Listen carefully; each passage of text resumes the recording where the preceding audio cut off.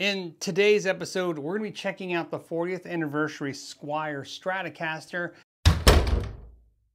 So what I did, so you guys know where this guitar came from, was I reached out to the patrons and I said, is anyone interested in buying this guitar and having it shipped to the channel so we can check it out in this video? So let's talk about what it is. First of all, it's a Stratocaster that has a couple upgrades.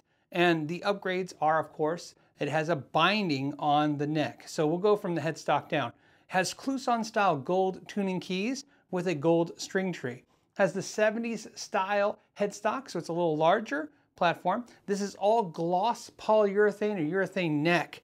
Uh, so it's very shiny and feels very nice if you like a gloss neck. Now, like I said, if you if you don't, I'm, I can understand why you're not gonna like this. It has binding around the entire neck to give it a beautiful look. It has an actual bone nut and it has block mother of pearl inlays with an Indian laurel fretboard. I was hoping for this model maybe it'd be rosewood. And again, keep in mind, it's not because I have a particular interest in any type of wood. It's just obviously certain woods have different expenses. And when you see a Squier guitar Strat in the $500 range, you're hoping it's gonna have some more premium features. Uh, it has narrow, tall frets. So uh, they're gonna be the width of like a vintage fret, but they're gonna be much taller. So to me, they feel like medium frets. So if you're used to medium style frets, uh, these will feel pretty reminiscent. You have gold hardware, so you have a gold bridge. You have an aluminum pick guard, or scratch guard if you want to call it that. And what's interesting is it's not gold. It's kind of like a coppery bronze. Uh, it looks pretty good, but it, the screws look a little off. You have three Alnico Fender design pickups. Uh, interesting, it doesn't say what Alnico it is, if it's two, if it's four, if it's five, it's eight. Uh, it just says it'll get you that Fender sound. I, I just thought it was very interesting that they were using such generic terms to explain such a uh, something they should be super proud of, right? It's the 40th anniversary guitar, but we'll get into that. Um, you have a five-way switch with three knobs. You have volume, tone, and tone. We have two strap buttons. Something to note, I don't know if it was done on purpose or it was done on accident. This strap button is not in the center of this horn. It's pushed back a little bit, and I'm not sure why it was done that way. Like I said, it could be done like that on purpose. If you have this guitar and you could, let us know in the comments if yours is like this. If it's just like how they did this model, maybe there's a purpose. Maybe they figured out that that's where a strap sits better, or maybe somebody just wasn't centered up when they were drilling the hole. As features go, that's pretty much it. It doesn't come with any gig bag or case. It does come with an Allen wrench, of course, the tremolo arm, and some paperwork. Uh, and that's it. It has 9 to 42 gauge strings. So with those specifications, let's get into the geeky stuff. So now that we're all tuned up, let's go ahead and see the neck relief. And you can see here, really good, nice and straight.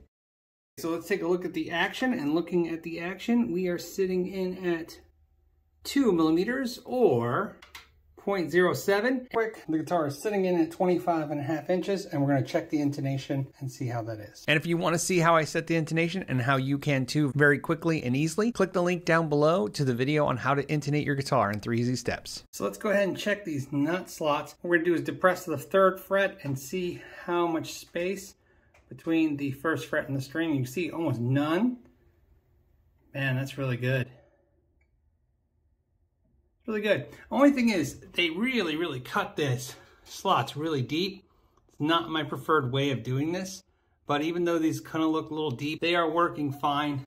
Something interesting to note, I couldn't find it in the literature I was looking at, but I have confirmed that this is a dual action truss rod, which means you can make this neck pretty much do whatever you want. And that's very good at a guitar at this price point. We're definitely seeing these dual action truss rods in a lot of affordable guitars now. And let me tell you, these guitars probably need it more than any other guitars. It really pretty much doesn't guarantee that this can, guitar can be set up anywhere, but I'm just gonna let you know, it's a lot easier to correct issues that might be happening because of environment. So let's check these frets and see how well they leveled them. As I always point out in all these deep dives, you can use a fret rocker to check for high frets, but you can always just play each individual note, and if you notice a problem, confirm it with a fret rocker or a credit card. And these frets look great.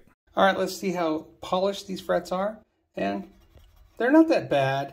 Now, this is a good time to point out that they are obviously leveling these frets, crowning them, and then sanding them so they're smooth. They're not doing a high detail polish. So my final thoughts, we'll have some discussion about that. It's time for the sock test. Let's see how well they did the front ends. And they're snagging. You can see there, a lot of snags. Really, the frets feel fine, but the ends are not very trimmed up. You can see right there. Let's do the bass side. So let's do the bass side. And same thing. You can see. So definitely a two and a half, a three maybe out of five. Really sad because you can definitely see where a lot of companies and no-name companies just selling guitars on Amazon are selling much, much better workmanship than this at a lower price. Now, what's important to mention about these frets is that even though they didn't pass the test, this neck did not shrink. That is not the problem. The problem is right here that the the ends, oops, that the ends right here are just a little sharp. We're going to take a fret and dress file, which is rounded, okay? We're not even going to tape it off. And all we're going to do is just come here at an angle, just like this. See here? Come down against this. See how it slides nicely without... That's it. Super light. Do all... Okay. And I like to go out and then in, out and in, out then in, and so on. And now we're going to do the other sides. Same thing, we're going to take the rounded side down so it doesn't hurt anything. Just run it here, and like I said, just kind of like a little tilted angle, brush it up, out, in.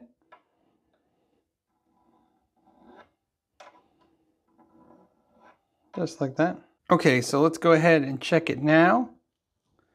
And a couple snags here and there, you see, little light ones, but much better. Let's do it one more time. And same thing, couple little marks here and there. You can see where I think I missed one or two little spots. But overall, a much bigger improvement just from removing the barbs. Looking at the neck, a couple things. We have a one-piece maple neck with gloss finish. This guitar is made in Indonesia and it has Kluson-style tuning keys. I say style because they're not actually branded Klusons. You have, of course, the binding on the sides, and then the Indian Laurel fretboard. This is probably done for aesthetics. This looks like walnut right here. And so there's a walnut, even though there's not a skunk stripe in the back, they did walnut here. My guess is just, again, for aesthetics to make it look nice, and it does. Now, I mentioned that these frets were listed as narrow tall, and I have confirmed that although they are narrow, like a vintage fret wire, they are tall and they are like medium frets. So these are gonna feel pretty much just like the traditional Fender made in Mexico, made in USA fret wire that you're seeing now on current guitars. Something to show you on the back plate, it is gold. It says Squier 40th anniversary, which is nice. We do the a handshake where you grab her here, but obviously this is a Fender. And so, uh, of course, it's not very good. It pokes you right there. This is um, not the best handshake. So you can see when you hold here, it's kind of a little thick. It's hard to put your fingers to the other side of the fretboard, but you know, come on. We all love strats and it's inherent in that design. And we're gonna confirm right now that it is a nine and a half inch radius fretboard. The fretboard is slightly rolled, so it doesn't look like they intentionally rolled it over like they do uh, when they're making the USA fenders and they kind of really want it to feel broken in. It just feels not sharp on the edge. I mean, it's more than adequate, and because it's a plastic binding, it doesn't have a harsh corner, so I'm going to say slightly rolled fretboard edge. All right, so this guitar is sitting in with a C profile on the uh, neck and on the 12th fret definitely the C profile. So this is definitely a C-shaped neck and it is 42 millimeters wide, which is 1.653. So again, definitely more narrow than a Fender. Let's take the 12th fret and your 12th fret is gonna be 2.024 or 51.41 millimeters. So again, a uh, very small, kind of more narrow neck than what you see traditionally on Fender. At the first fret, we are at 20.63 millimeters thick, or 0.812. And at the 12th fret, we are 0.907 or 23.04 millimeters thick. Let's check the pickups. We're running a guitar cable into the output jack. We're using the two clamps. We're running the ground to the shaft of the, of the guitar cable and then of course hot to the tip. And right now the bridge is showing at 6.45. And of course the middle pickup is at 6.08K and the neck is at 5.75K. So definitely going for a vintage style pickup with the amount of wire they're putting on there. That's only one part of the story. Let's look at the inductance. We're looking at the bridge pickup at 2.49 Henrys, the middle pickup at 2.25 Henrys, and the neck pickup at 2.06 Henrys. This is important because the lower that number, the brighter the pickup's going to sound. Obviously, that means these pickups are definitely going for the vintage Strat bright tone I also wanted to get out my Tesla meter and see if I could figure out what these uh, magnets are. And based on what I'm seeing here, I'm 90% sure these are Alnico 5 magnets, which are brighter than Alnico 2s. So based on the resistance I was getting, I'm going to say these pickups are about 8,000 turns of 42 gauge wire, putting them in that 50s era vintage strat tone, especially with the inductance reading and now this. Uh, so we're going to probably hear some really cool vintage sounding strat pickups here. So let's take a look at the electronics electronics. First, I just want to point out there's no shielding in this cavity that I can see. Sometimes they can shield it and then paint over it. That makes it a little difficult, but I, uh, I took and took a little file and marked right there. I couldn't see anything underneath there. Um, there's nothing really for me to check with a multimeter, so there's just no way to tell. Uh, and then right here is the, the bare wood, so we can see that the wood is here. Now this is the metal plate that we were talking about. Uh, what we have is a basic PCB uh, board uh, switch. These are my least favorites. And of course, some small um, potentiometers. These are 250Ks with a 0.22 microfarad capacitor. Um, these are alpha pots, it looks like. Yep, these are alpha pots. Now, normally, I don't have a problem. Like I said, sometimes they point out the dime ones are bad and the, the bigger ones are good. To me, it's not a quality thing and how good they are. It's how they feel. These feel different than the bigger ones. The bigger ones feel more substantial to me but quality-wise, these could last just as long as any big ones. Don't let somebody tell you just because this is a small uh, potentiometer that somehow it's bad. Uh, Alpha makes pots for $3,000 amps just as well. These pickups, you can see here, we have plastic inject molded bobbins. This is definitely reminiscent of what we used to see in the old USA standard Stratocasters. Not the main Mexicos, because those had a ceramic uh, magnet on the back. These are actually Alnico slugs. So these are magnets right here. These are magnetized, each slug. There's not a bar here. Looking at the output jack, it's pretty good. It's not a Switchcraft part or anything, but the quality is pretty good. There's a little bit of solder work there I'm not impressed with, but it's doing the job. But the quality of this, if you look here at a standard Switchcraft one, isn't far off. I'm not saying it's the exact same in quality. Let's do it this way. What I am saying though, is that it's pretty darn close. Looks pretty good. So not bad at all. So that's pretty good. For reference, this guitar is 7.73 pounds, but I've seen them as high as 9 pounds and as light as 7 pounds or on the high 6 pound range. This body is made of Nato, which is like a mahogany type wood, so it can be pretty heavy or pretty light depending on probably its moisture content or its density when it was cut. Be prepared if you're looking at these guitars. They can range from anywhere from 7 pounds to 9 pounds. Looking at pricing, you can see these guitars come in at $499 and come in a few different colors and versions. Comparatively speaking, you can look at the Sire guitars that are also made in Indonesia for about $100 more with a roasted maple neck. You can look at made in Mexico Fender Strats for about $350 more, or you can look at the eArt guitars that are almost half the price with stainless steel frets, or look at a Squier Classic Vibe and save about $70 and lose just a few of the detail features from this guitar. All right, let's do some sound samples. First, we'll be using the Paul Reed Smith Sonzera in the clean channel with a little bit of reverb, and it's 20 watts through a stock 112 inch speaker, mic'd up with an SM57 into a Neves 88M interface into my computer, and of course, I'm also running a room mic.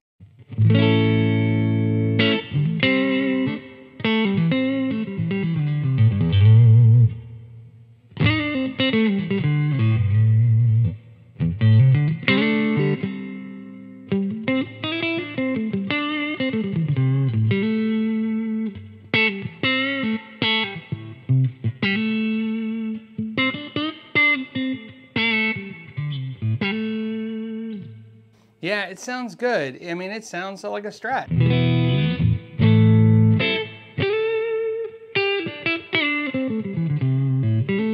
That's position four, so that's gonna be your neck and middle.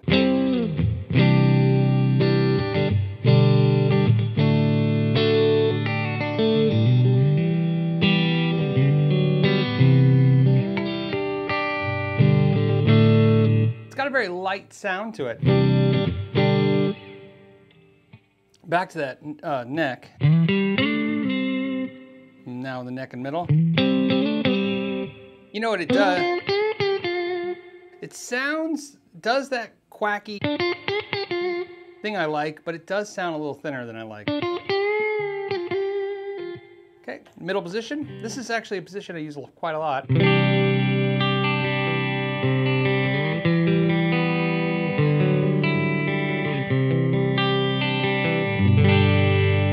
Yeah, it's weird that the middle and the neck sound kind of thin. I mean, they sound good, but that middle.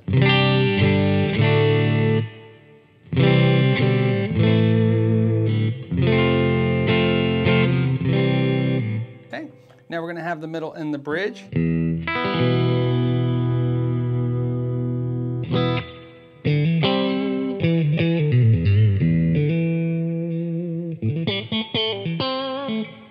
It's a little bit of snap to it.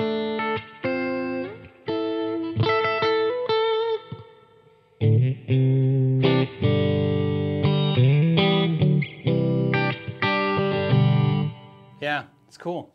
Um, let's go to the bridge. That's good.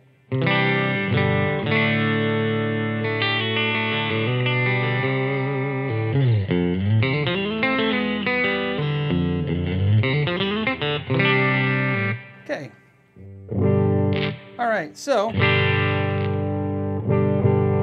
so we have the tone control here is attached to the bridge pickup.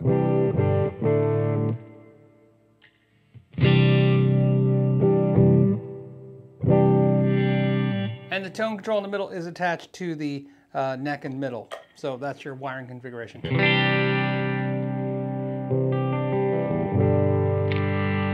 Little scratch.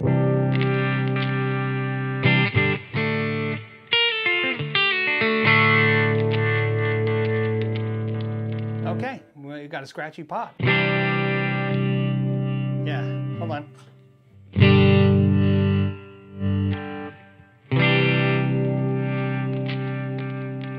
Scratchy pot. So let's fix it. For that bad potentiometer that was crackling, we're just going to use some Deoxit. You can use electronic contact cleaner. I just like Deoxit because I like the controllable adjust spray. I keep it on low. You can see here, right there, right in that little line right there, see that little section right there? You're just going to put the straw right in there and just go. Just go, let it go in there. Once you do that, flip it over, let it work in, and you'll feel it. Like already I can tell, just really nice and loose. And you may want to do it again. It won't hurt anything, but it's uh, it's fine. And if you get Deoxit on anything like here, just wipe it all up with a dry cloth. Okay, so let's go ahead and switch to some overdrive. So I switched the Sonzera over to the overdrive setting, and I also have the bright switch on. Same SM57, same everything else. And uh, let's check out the guitar and see how it sounds with overdrive. And we're gonna be using the neck pickup.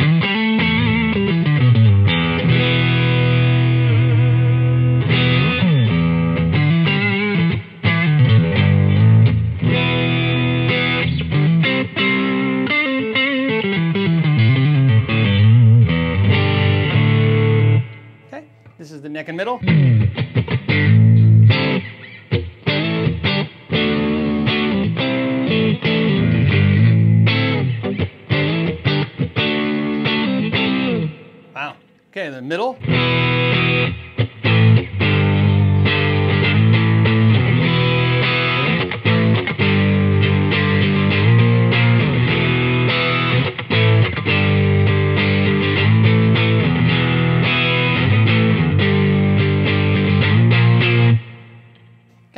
got the bridge and middle. Okay,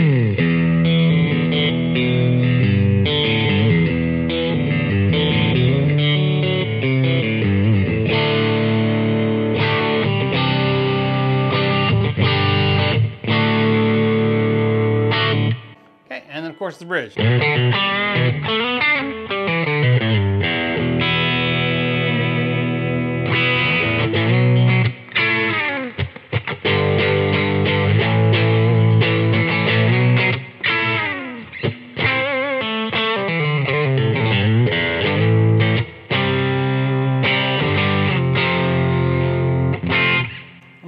Great.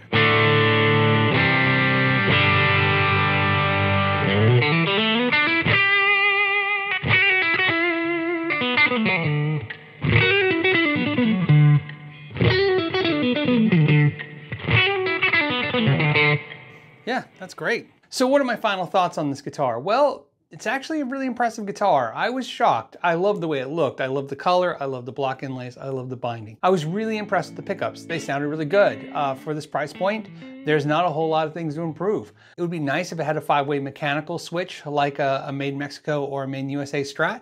But other than that, it was fine. It will do the job. One thing I, I want to do before I send it back is uh, correct basically three things that I'd like to improve. So first, I'm going to go ahead and put in some conductive shielding paint in the cavity. Now you can use a tape, but I like to use conductive shielding paint. The other thing I want to do is polish those frets. Mm. Although they were fine once I took care of those barbs, they played great. I'm going to go ahead and just put a detailed polish on them.